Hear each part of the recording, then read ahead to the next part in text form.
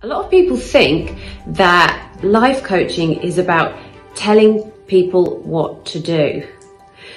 But it's actually not that at all. Whilst occasionally you might offer some of your experience or a thought that you think could be helpful, life coaching isn't about what you think as a coach. It's not about your opinion. It's so far from it being about your opinion. It's about what matters to your client. It's about what's important to to this person sat right in front of me. Who are they? What brings them to life? What is it that they're thinking that's holding them back? And actually the skill of coaching, the art of coaching, how I teach it is you learn how to unlock that within that person so that they find the right answers for themselves. What good is it to somebody if you just keep telling them what's right? If you never really enable them to connect to their own wisdom, they're, well, they're either always going to need you or they're always going to doubt themselves.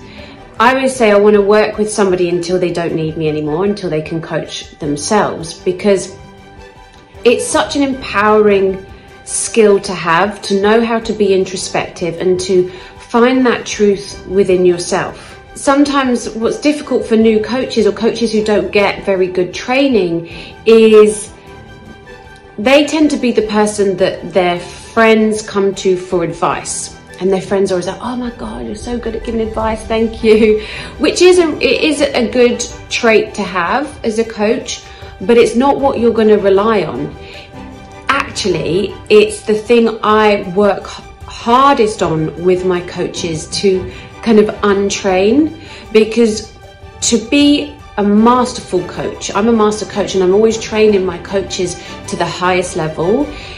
You have to learn how to get yourself out of the way so that you can really, really hear the person that sat in front of you and remove your own biases, remove your own opinions. Because as I've said, they're not really important. They may at times be helpful, but you don't know for sure.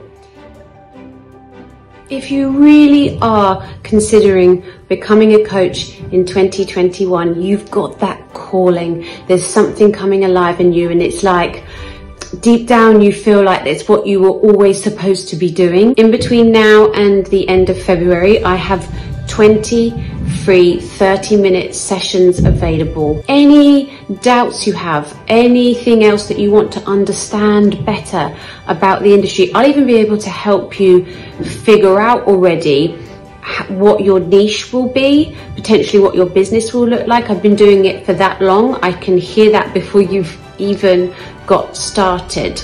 And of course, if you're interested and you want to know more about my course, I can tell you about that afterwards.